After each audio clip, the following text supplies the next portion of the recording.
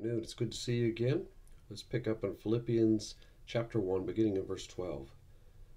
I want you to know, brothers, that what has happened to me has really served to advance the gospel, so that it has become known throughout the whole imperial guard and to all the rest that my imprisonment is for Christ. And most of the brothers, having become confident in the Lord by my imprisonment, are much more bold and bold to speak the word without fear. Some indeed preach Christ from envy and rivalry, but others from good will. The latter do it out of love, knowing that I am put here for the defense of the gospel. The former proclaim Christ out of selfish ambition, not sincerely, but thinking to afflict me in my imprisonment. What then? Only that in every way, whether in pretense or in truth, Christ is proclaimed, and in that I rejoice. The grass withers and the flower fades, but the word of our Lord endures forever. Amen. Amen. In this passage, Paul is sending some encouragement to the church at Philippi, letting them know that he sees God's providential and sovereign hand even in his imprisonment. That while he's there, the gospel is still moving and going through, and uh, the guards are being saved, and, and, and the gospel is being proclaimed. He's sharing with them that not just in the prison uh, area but elsewhere, people are, are being encouraged by Paul's boldness in preaching the gospel.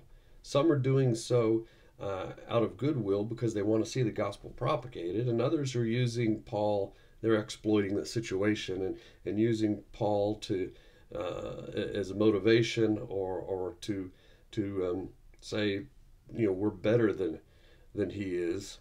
Uh, but they're still preaching the gospel.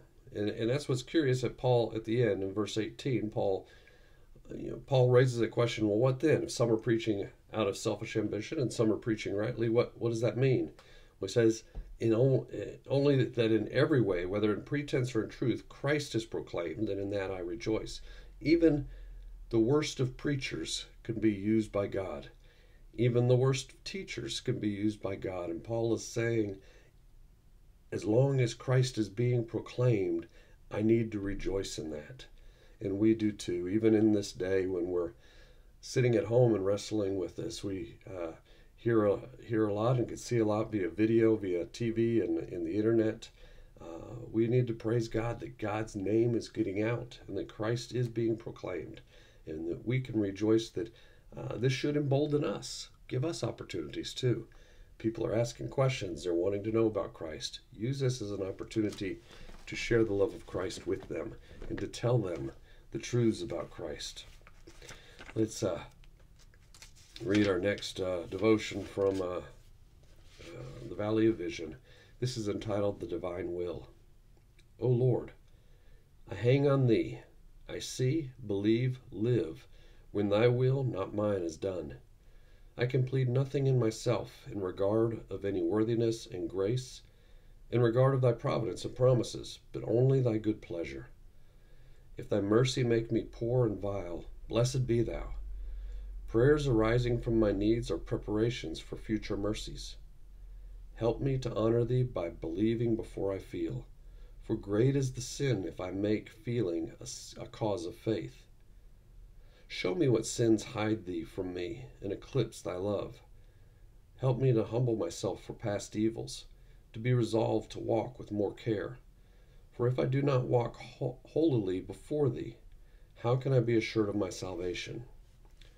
It is the meek and humble who are shown thy covenant, know thy will, are pardoned and healed, who by faith depend and rest upon grace, who are sanctified and quickened, who evidence thy love. Help me to pray in faith and so find thy will, by leaning hard on thy rich free mercy, by believing thou wilt give what thou hast promised. Strengthen me to pray with the conviction that whatever I receive is thy gift, so that I may pray until prayer be granted. Teach me to believe that all degrees of mercy arise from several degrees of prayer, that when faith is begun, it is imperfect and must grow as chapped ground opens wider and wider until the rain comes.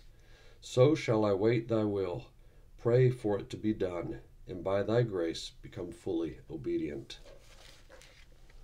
Let's pray. Father, we thank you that we can come before you today and lift our hearts to you. We pray for all of our friends and family in need. Uh, I pray for the Townsends, uh, uh, for Dylan and Katie, that you would be with them, provide for them, protect them. Uh, protect Dylan while he's at work on base, and, and Katie and uh, in all that she has to do at home. I pray, Father, that you'd help her with her studies. Father, we pray that you would be with the Harrells that you'd put your hand upon them and that you would just protect them at this time from from this uh, virus. Uh, pray that Miss Knott would not be affected by it in the least, uh, and that she would be getting stronger each day.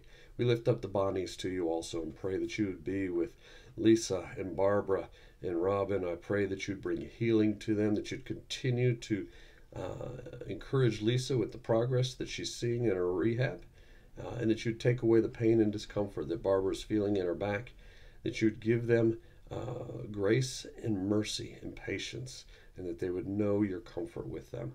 Father, thank you for uh, our church family. I pray that you would be with each and every one of them, that you would encourage them and strengthen them, and Lord, that you would open up your word to us these days. We pray in Jesus' name. Amen and amen. Thank you. Uh, for being with us today. And I look forward to seeing you tomorrow.